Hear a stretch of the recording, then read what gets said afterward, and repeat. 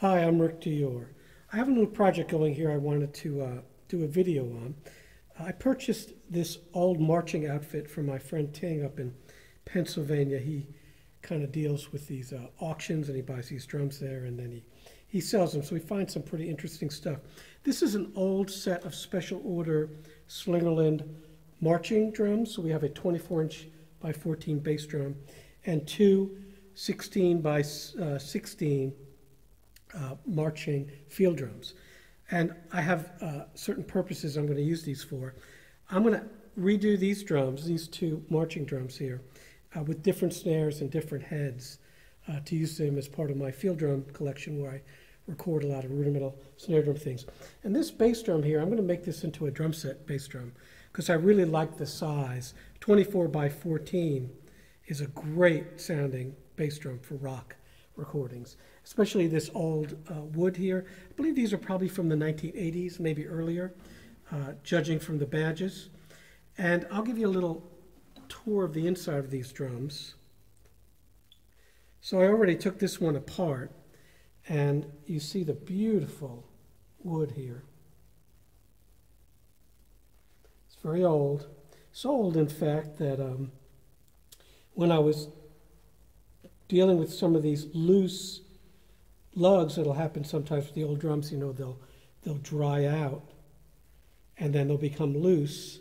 And then I had another washer. I was taking one off and it actually, it broke. So you got to be careful of that. This is what that looks like when they break. There's no way really to get around that. Sometimes you can put some oil on there and try to inject it in there and take them out. But some will break. And then what you have to do is you have to drill them out of the lug and then just get another screw, which I'll do. So this one did that. I got the top in with, with, with another washer. Most of them are pretty tight. They have just two washers. But what you do, you don't try to tighten it because you will break them. But what you do is you add another washer there or two.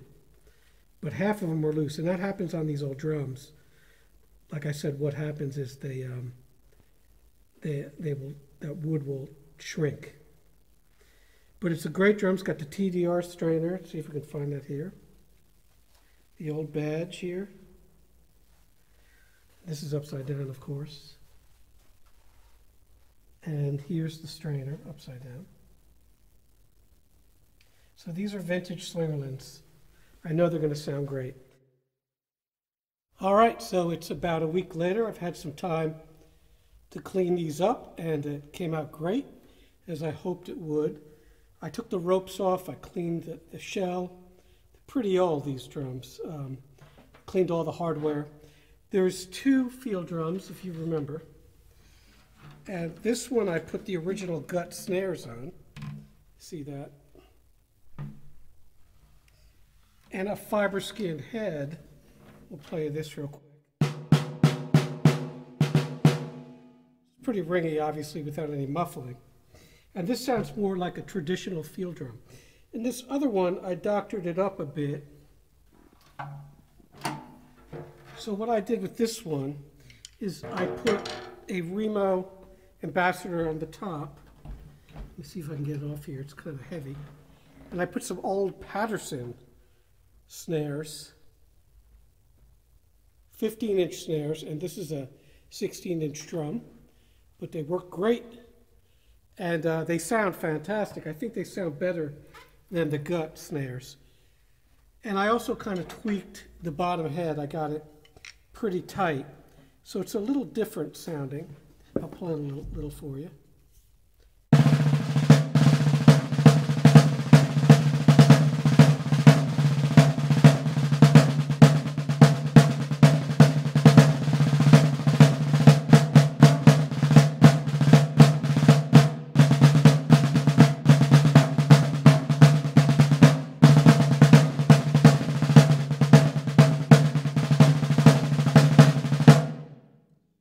So as you can imagine, playing on a 16 by 16 drum, it's like playing on a floor tom, pretty much. That's tightened with snares. But it's a huge, deep sound. Hopefully the recording with these cheap little cameras will portray that. Uh, and then the bass drum cleaned up really nice. And it's everything I hoped, so I'll play a little of that.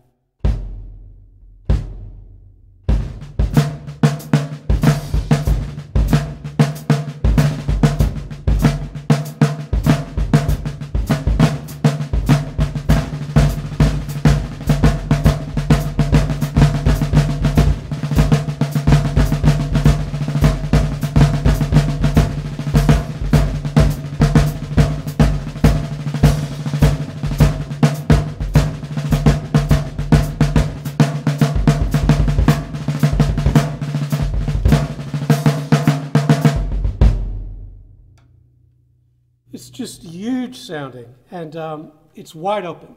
There's no muffling at all. And I did put a pinstripe on the front of the drum. Also, I am using a little bit of muffling on this drum, as you heard. These are the mufflers I always use. You can also use something a little bit heavier. So this is something that um, my friends from Sims Music in Columbia, South Carolina sent me.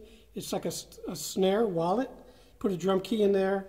Just put it on here. I'll put the information in the description. But it really dries it out really nicely.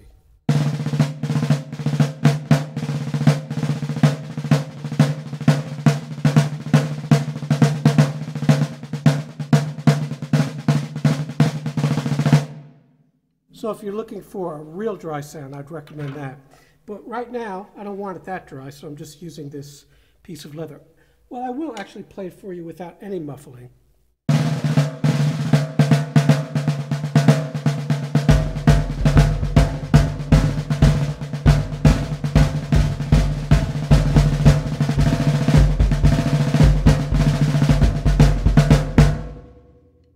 So it rings quite a bit, but it's a nice ring. So I've been playing it open some, but um, today I'm just going to use a little bit of muffling.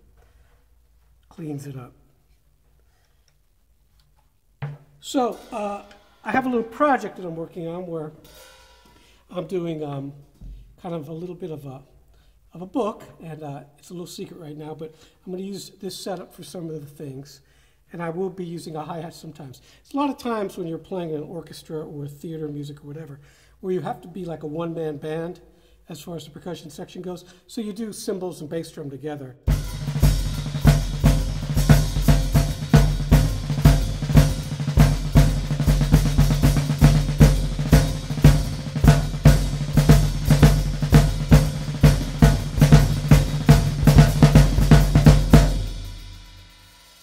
So I'll just play a little uh, for you, and if you have any questions, as always, just uh, email me or leave a comment, and I'll answer them as fast as I can.